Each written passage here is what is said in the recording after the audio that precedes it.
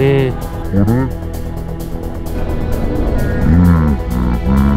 আট দশ দিন বাইকটা ফেলে রাখলে কি হয়? পুলিশ সবসময় শেষে এসে বলে আইন নিজের হাতে তুলে নেবেন না। এই ফুটপাথটা হচ্ছে বান্দার হক যানবাহনের হক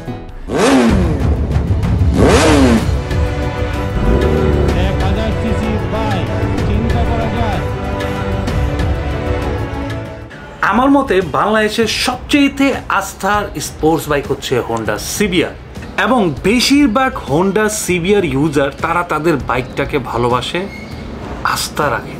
তারা কখনোই চিন্তা করে না বাইকটার সিটিং কেমন, তারা চিন্তা করে না বাইকটা ইঞ্জিন পারপাস কেমন, তারা চিন্তা করে না বাইকটার লুকস কেমন। সব কিছু চিন্তার বাইরে তাদের সবচেয়ে বড় চিন্তা যে এই হোন্ডা সিবিআর বাইকটি তাকে কখনো হতাশ করবে না। আর এদিকে আমি আমার হোন্ডা সিবিআরটাকে প্রায় আট দশ দিন ফালিয়ে রেখেছি দেখার জন্য।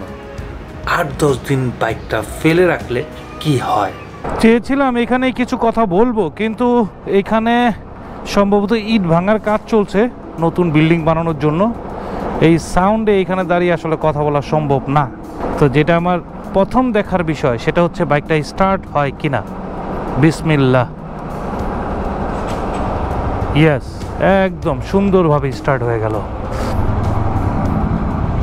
সাধারণত একটা বাইক আট দশ দিন ফালায় রাখলে ওইভাবে তেমন কিছু হয় না। যদি কিছু ব্যাপার যদি আপনি একটু খেয়াল রাখেন, যেমন এক নম্বর ব্যাপার হচ্ছে যেদিন আপনি বাইকটা চিন্তা করলেন যে আট দশ দিনের জন্য রেখে দিবেন, সেই দিন অবশ্যই আপনাকে বাইকটাকে খুব ভালোভাবে ওয়াশ করে মুছে দেন আপনাকে রাখতে হবে। এবং সেই সাথে আপনাকে অবশ্য অবশ্যই বাইকে একটা কভার দিয়ে রাখতে হবে।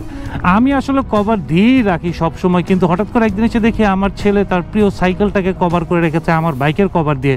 তাই আমি আসলে কভারটার তার সাইকেল থেকে আর সরানোর জন্য সাহস পেলাম না।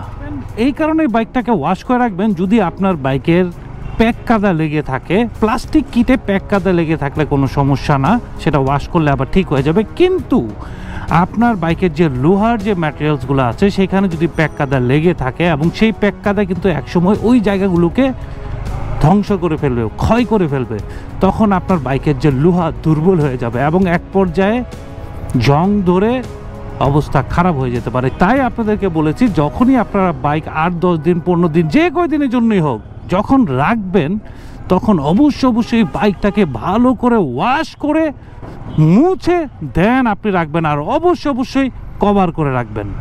আর দুই নম্বর বিষয়টা হচ্ছে, আপনি যেখানে বাইক রাখবেন, সেই জায়গাটা যেন স্যাঁতস্যাঁতে বা কাদাযুক্ত এলাকা না হয়। অনেকে আছে যে মানে মাটির ঘরে থাকেন, গ্রামে থাকেন, তো সেই ক্ষেত্রে আপনাদের ওইখানে যদি প্যাক কাদা, মাটি এইসব যদি থাকে, সেই ক্ষেত্রেও আপনার বাইকের লোহাতে ঝং পড়ে যাওয়ার একটা সম্ভাবনা থাকে।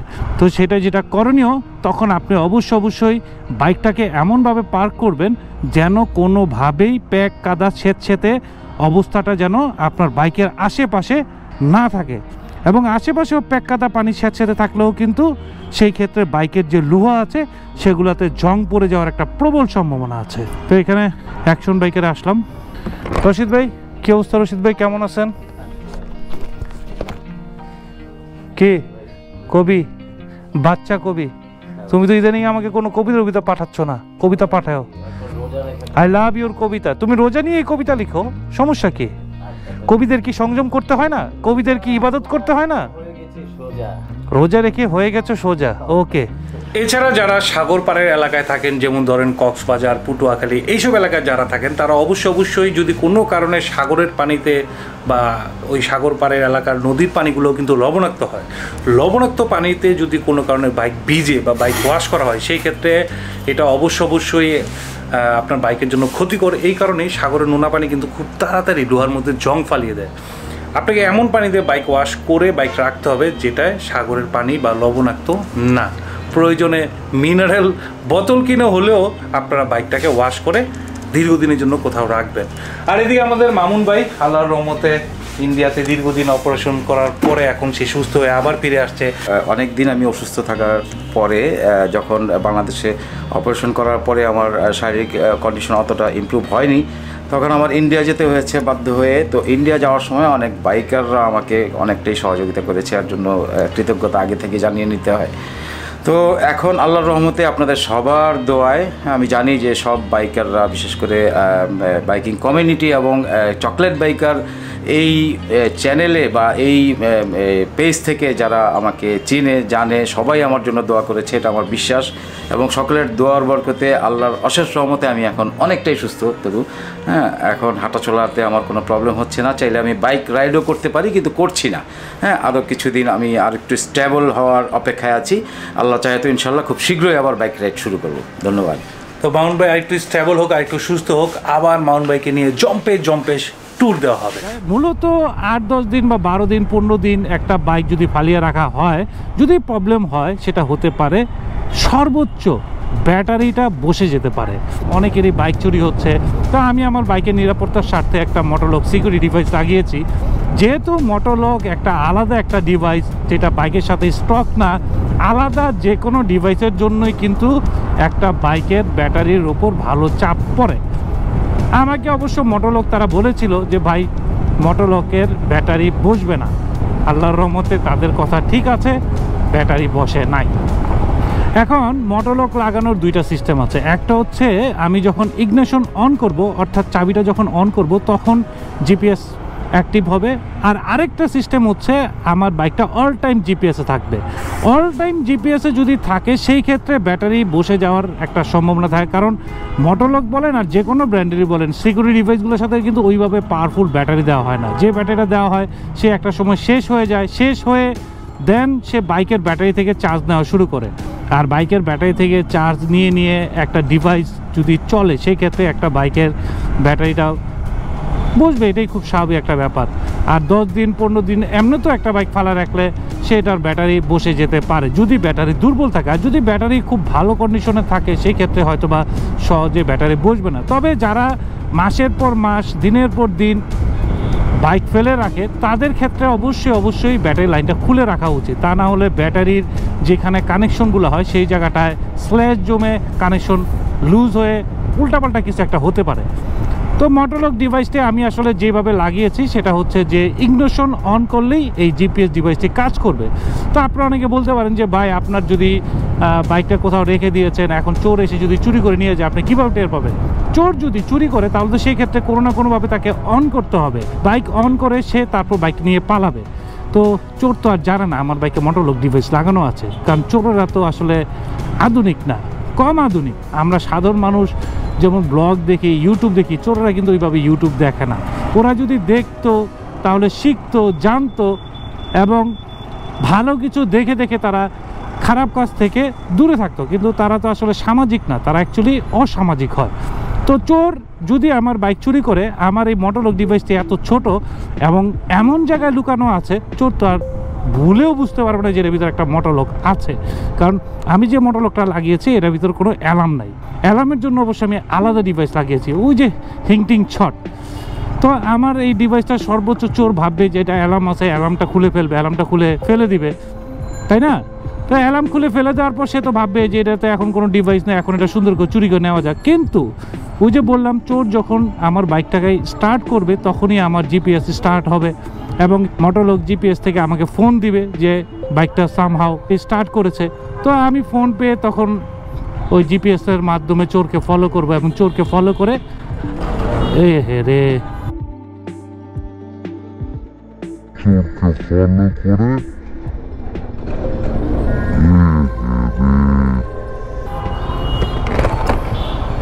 ভাই ভয়ে পড়ে গেছেন ভয়ে ভয়ে। ভয়ে পড়ে গেছেন ভাই, ভয়ে? পা ভেঙে গেছে? আচ্ছা আচ্ছা আচ্ছা সাবধান সাবধান হ্যাঁ? সাবধানে, ঠান্ডা মাথায় হ্যাঁ? এই যে এর অবধি পাগল হয়ে গেছে। পাগল। হঠাৎ করে বাস দেখে বাইকার প্যানিক হয়ে যায় এবং প্যানিক ব্রেকেই বাইকটা পড়ে যায়। আপনার বাইকে যদি এবিএস থাকতো, তাহলে আবার আপনি পড়তেন না। এবিএস এর কারণে কিন্তু এই ধরনের প্যানিক সিচুয়েশন থেকে নিজেকে রক্ষা করা যায়। তো, আল্লাহর রহমত আমার বাইকে এবিএস আছে। মানে সে যেভাবে আমার সামনে পড়ছে, আমি যদি আমার এবিএস বাইক না হতো, তাহলে কিন্তু আমিও পড়ে যেতাম। জিনিস খেয়াল করে দেখবেন, সামনের জন যদি হঠাৎ করে করে পড়ে যায়, তাহলে কিন্তু পিছনের জন্য কিন্তু ওইভাবে পড়ে যাওয়ার একটা সম্ভাবনা থাকে। তো যেটা বলছিলাম, তো চোরকে আমি ধরে ফেলতে পারব, কারণ চোর তো আর জানবে না, আমার একটা ডিভাইস আছে, লুকানো রাখা আছে। তো চোরকে ধরে আমি সুন্দর মতো ঘাটটা ধরে বাইকটা নিয়ে নিব এবং সেই সাথে চোরকে আমি পুলিশের কাছে দিয়ে দেবো। আর পুলিশ তাকে আকাশে তারা দেখাবে এবং সেই তারা মোতাবেক ধারা দেখিয়ে তাকে সাহায্য করবে। অবশ্যই অবশ্যই আমি চোরকে পেটাবো না, কারণ আইন নিজের হাতে তুলে নেওয়াটাও একটা অন্যায় অপরাধ। অপরাধীকে সবসময় আইনের হাতে তুলে দিতে হয়। এটা আমার কথা না, এটা ভাই নীতির কথা। বাংলা সিনেমায় তাই দেখেছি। পুলিশ সবসময় শেষে এসে বলে, আইন নিজের হাতে তুলে নেবেন না। তো বাই দ্য ওয়ে মোটরলোকের কমিটমেন্ট ঠিক আছে, আলহামদুলিল্লাহ। আমি আসলে একটা ব্র্যান্ডকে যখন আমি ব্যবহার করব, তার সম্পর্কে আমার হান্ড্রেড পার্সেন্ট জানা থাকাটা সবচেয়ে জরুরি একটা ব্যাপার। আর এখন হচ্ছে ঈদের সময়, আর ঈদের সময় কিন্তু চুরি, ছিনতাই, ডাকাতির প্রবণতা একটু বেড়ে যায়। তাই আমাদের সবারই উচিত যার যার বাইকে যতটুকু সম্ভব নিরাপত্তা ব্যবস্থা রাখা। এখন আমি মোটরলোক সাজেস্ট করছি, আমি নিজে মোটরলোক ব্যবহার করছি। আপনারাও চাইলে মোটরলোক ব্যবহার করতে পারেন অথবা অন্য যে কোনো ডিভাইস দিয়ে হলেও আপনাদের বাইকের নিরাপত্তা নিশ্চিত করবেন। আর এদিকে যে ঘটনাটা আমরা দেখলাম প্যানিক সিচুয়েশন এটা নিয়ে কিছু প্রসঙ্গ অটোমেটিক্যালি চলে আসছে। যেমন ধরেন, আগে যখন এবিএস বাইক ছিল না, তখন আমরা একটা বাইককে আসলে এই ধরনের সিচুয়েশনগুলোতে কীভাবে নিয়ন্ত্রণ করতাম? স্কিল আমি সবসময় কিন্তু একটা কথা বলি যে আপনারা আপনাদের বাইকিং স্কিলটাকে ডেভেলপ করেন। যদি আপনি স্কিল ভালো থাকে, সেই ক্ষেত্রে আপনি কিন্তু দুর্ঘটনায় সহজে পড়বেন না। আগে যখন আমাদের বাইকে এবিএস ছিল না, তখন আমরা কি করতাম? যে কোনো একটা সিচুয়েশন যদি হয়ে যেত, তাহলে আমরা একবারে ব্রেকটা প্রেস করতাম না। আমরা কি করতাম? এই যে এইভাবে। ব্রেকটাকে ধরে ছেড়ে ধরে ছেড়ে ধরে ছেড়ে আমরা বাইকটাকে নিয়ন্ত্রণ করতাম। তো এই জিনিসটা কিন্তু এখন অনেকে জানে না। অনেকে জানে না, অনেকে বুঝে না, যার কারণে কিন্তু এই ধরনের প্যানিক সিচুয়েশন হয়ে যায়, আচমকা ভয়ে পুরা বাইকটা খাবলা মেরে ধরে ফেলে। এখন একটা ব্রেক ওর কাজ হচ্ছে ধরা। আপনি যখন ওকে জোর করে দিতে যাবেন, তখন তো সে ধরেই ফেলবে। তো এখানে যে আরটিআর যে ভাইটা ছিলেন, উনি এই প্যানিক সিচুয়েশনে পড়ে ব্রেকটাকে ফুল প্রেস করে ধরে ফেলেছেন। যার কারণে ও ব্রেকে যেটা কাজ সেটাই করেছে এবং সে পড়ে গিয়েছে। আর উনি যে জায়গাটায় পড়েছেন, সেই জায়গাটা আমি একটা জিনিস খেয়াল করে দেখলাম, ওইখানে আসলে পড়ার কথা না।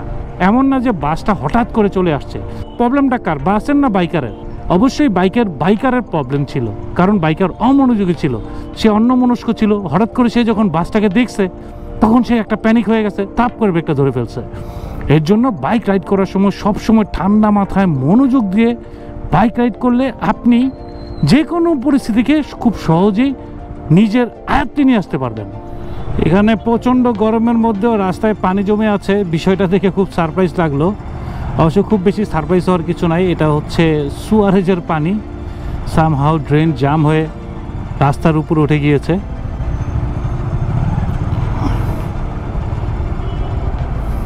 এই সময়টা এখানে এত জ্যাম থাকবে, বুঝতে পারি নাই। তাহলে অন্য রাস্তাতে যেতাম।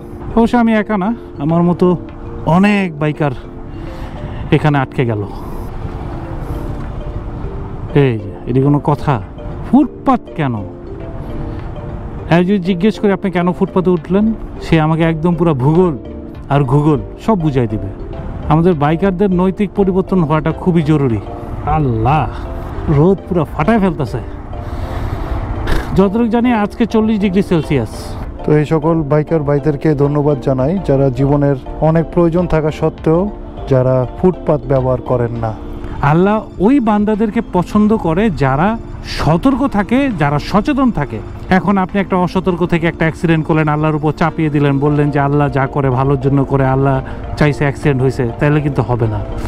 আমাদেরকে সেফ রাইডিংটাকে আয়ত্তে আনতে হবে। সেফ রাইডিং আয়ত্তে আসে চর্চায়, ভালো চর্চায়। এবং ভালো চর্চা হচ্ছে ঠান্ডা মাথায় বাইক চালানো। আমাদের যেটা হয়, বেশিরভাগ মানুষ মাথা গরম করে পাগলের মতো বাইক চালায় যে ফুটপাথ দিয়ে উঠতেছে। কি? দেখেন, সেইখানেই যাচ্ছি, সেইখানেই ফুটপাত। তো আমাদেরকে ভালো চর্চা থাকতে হবে, অনেক জরুরি প্রয়োজনীয় কাজ থাকবে, তারপরও আমাদেরকে সঠিক নিয়ম নীতি মেনে বাইক চালাতে হবে। এই যে আপনারা যখন ফুটপাত দিয়ে বাইক চালান, অনেকেই দেখে কিন্তু জিনিসটা বিরক্ত হয়, একটা বদদোয়া চলে আসে। মানে খারাপ লাগা চলে আসে মানুষের। এই বদদোয়া খারাপ লাগা থেকে কিন্তু আপনার অ্যাক্সিডেন্ট হওয়ার সম্ভাবনা অনেক বেশি অনেক বেশি। মানুষের বদদোয়া খুব ভয়ঙ্কর ব্যাপার। আল্লাহর হক আল্লাহ মাফ করতেও পারে, আবার নাও করতে পারে। কিন্তু বান্দার হক আল্লাহ কখনোই মাফ করবে না। এই ফুটপাথটা হচ্ছে বান্দার হক, যানবাহনের হক না। তো সেই ফুটপাথটা আপনারা ব্যবহার করবেন, তাহলে তো এটা ঠিক না। আপনারা আই মিন যারা খারাপ মানুষ যারা ব্যবহার করতেছে, তাদের কথা বলতেছে। এই যে, অ্যাপ্রিলিয়া। আজকে তো রিভিউ করতে পারলাম না, অসুবিধা নেই। নেক্সট ব্লগে আপনাদের জন্য অ্যাপ্রিলিয়া রিভিউ থাকবে।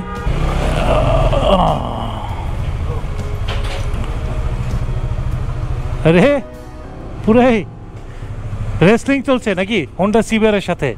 না, ঠিক আছে। কাজ এখন গরম হোক, শীত হোক, করতেই হবে। যখন যেরকম স্টাইল করা যায়। এটাও একটা স্টাইল। চোস চোস কোনো বাইকে অনাস্থার বাইক না, প্রত্যেকটা বাইকে আস্থার বাইক। তবে হ্যাঁ আপনি যদি নিয়মিত একটা বাইকের যত্ন আদি করেন। আর সবচাইতে বড় বিষয়, আপনাকে আপনার বাইক সম্পর্কে জানতে হবে, প্রচুর স্টাডি করতে হবে। কোন প্রবলেম কেন হয় সেটা আপনাকে বুঝতে হবে। আপনি যখন একটা মেকানিককে বাইক সার্ভিস করার জন্য দেন, তখন আপনাকে বুঝে বলতে হবে যে আপনার কি কি সমস্যা আছে।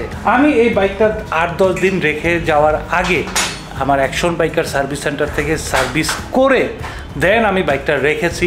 ক্লিন ছিল নিট ছিল, কিন্তু কভারটা না দেওয়ার কারণে ময়লা হয়ে গেল। যাই হোক, সমস্যা নেই, এখন বাইকটা ওয়াশ করে ফেলব।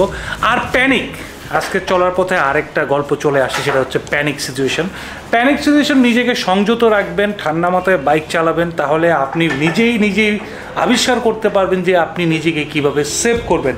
আমাদের যেটা হয়, আমরা বেশিরভাগ সময়ে বাইকাররা তাড়াহুড়া করে বাইক চালাই, খুব দ্রুত আমাদের পৌঁছাতে হবে। এই মন মানসিকতা থেকে আমাদের বের হয়ে আসতে হবে, আমাদেরকে সচেতন হতে হবে, আমাদেরকে সুস্থ ও ঠান্ডা মাথায় বাইক রাইড করতে হবে। ভালো থাকা, সুস্থ থাকা, এটা সম্পূর্ণ চর্চার একটা বিষয়। আপনার দীর্ঘদিনের চর্চাই আপনাকে সুস্থ রাখবে এবং নিরাপদ রাখবে।